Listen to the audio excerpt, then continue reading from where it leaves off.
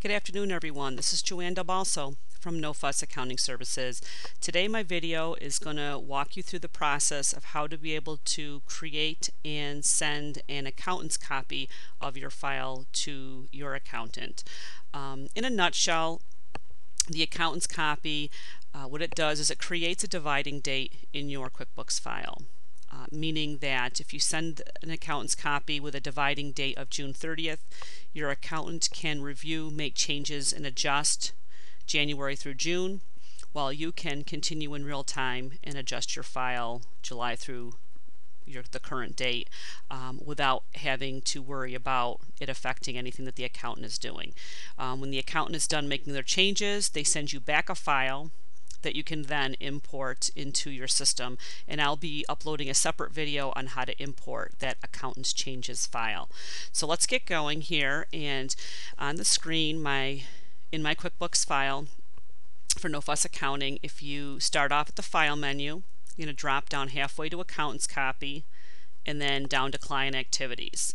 And um, for this video I'm going to show you how to just send the accountant's file by the save file function. Um, what the save file function does is it just saves the file onto your desktop and then you actually have to attach it to an email yourself. The second option actually is another option that allows you to use the QuickBooks servers. If you would like to do this route, you can go ahead. It's pretty much the same process with the exception of um, you have to enter an encryption password and you need to make sure that your accountant gets that encryption password that you set to it. Otherwise, they won't be able to open the accountant's copy. So, um, but we're going to go by the first one because this is the easiest one that most of my clients like to use. And you hit Save File you choose accountant's copy um, versus the portable or backup. You're going to hit next. The next box here, set the dividing date, is where you're going to drop down and choose your dividing date. For this purpose, it's going to be um, June 30th, 2011. If you're sending a year-end file to your CPA, you're going to want to choose obviously 1231 2010 if you're doing 2010 1231 2011 if you're you know at the year end for 2011 for this case we're going to say it's just June 30th then I'm going to hit next. And now it's just going to prompt me to close all it's going to automatically close all the screens. Um, this next screen is where you can browse and you can save the file wherever you want. Um, as you can see I've done a couple of test ones before and I'm just going to delete these out. But I usually just save most of my files on my desktop. Why? Because everybody knows where the desktop is. It's easy to browse to if you're in Outlook or if you're on Gmail or Hotmail, whichever you use for email services.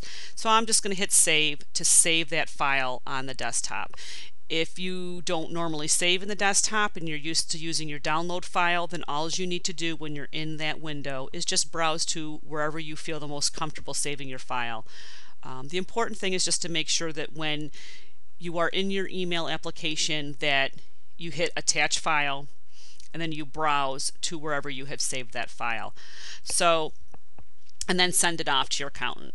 Um, this is going to take a few minutes to boot up um, and when it does complete you will see that there is going to be a new message across the top uh, next to where it says no fuss accounting services of course it'll be your business.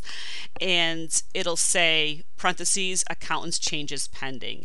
And that's fine and you want to keep that there until you actually um, get the accountants changes file back. And check out my next video I will show you how to import those accountants changes and um, get them all into your system and and make sure that that's done correctly.